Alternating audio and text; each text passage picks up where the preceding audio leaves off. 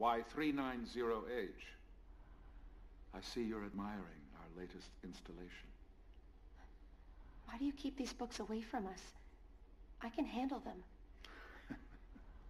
Maybe you're right. Oh, this creep. However, there are others in your class who are not as strong as you.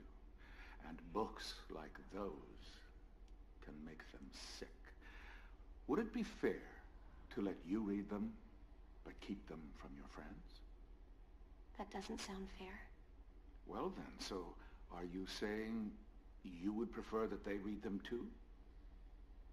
Will you have their illness on your conscience? The cock. I don't want that either. Of course not.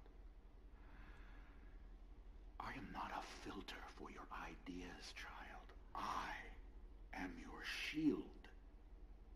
There is so much ugliness in this world. Let me stand in the way of it.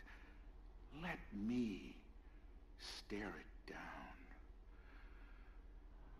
Your eyes are too pretty Is he making a move witness on me? such things.